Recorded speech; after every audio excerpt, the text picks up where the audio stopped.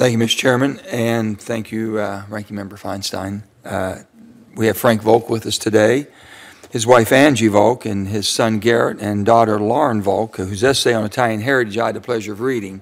Uh, They weren't able to make it today, as graduation season is upon us back in Charleston, West Virginia, and that's where they are. As a fellow West Virginian, I'm honored to sit here with my friend and colleague, Senator Capito, to introduce Frank Volk, the President's nominee for the U.S. District Court Judge of the United States District Court for the Southern District of West Virginia, and a proud Italian, I might add. Uh, As many of you know, Frank's resume is impressive.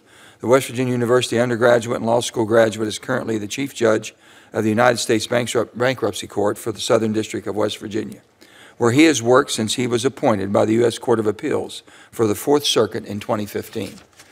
I would like to take a moment to talk about the seat Frank is being nominated for. If confirmed, Frank will be filling a seat that was vacated by Judge Copenhaver, who is also a tremendous jurist and a good friend, who took senior status at 93 years of age. Uh, Judge Copenhaver was appointed in 1976 and was one of the few remaining active judges appointed by President Ford. And Frank had the honor of serving as his career law clerk for over a decade until assuming his current position as Chief Bankruptcy Judge for the Southern District of West Virginia. During his career, Frank has worked with a number of esteemed judges. Judge Haden, U.S. District Judge for the Southern District of West Virginia, as a term uh, law clerk and then later as a career law clerk for almost a decade. Judge M. Blaine Michael, U.S. Court of Appeals for the Fourth Circuit, as a term law clerk. And Judge John Copenhaver, U.S. District Judge for the Southern District of West Virginia, as a career law clerk for over a decade. Even with all those accolades, Frank knows and understands the value of hard work.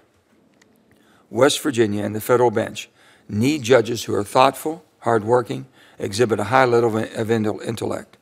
Frank fits that role perfectly. Frank brings such a great level of experience to the bench, and I can safely say that I am pleased that President Trump has nominated him to continually serve the West Virginia judiciary. Thank you, Mr. Chairman.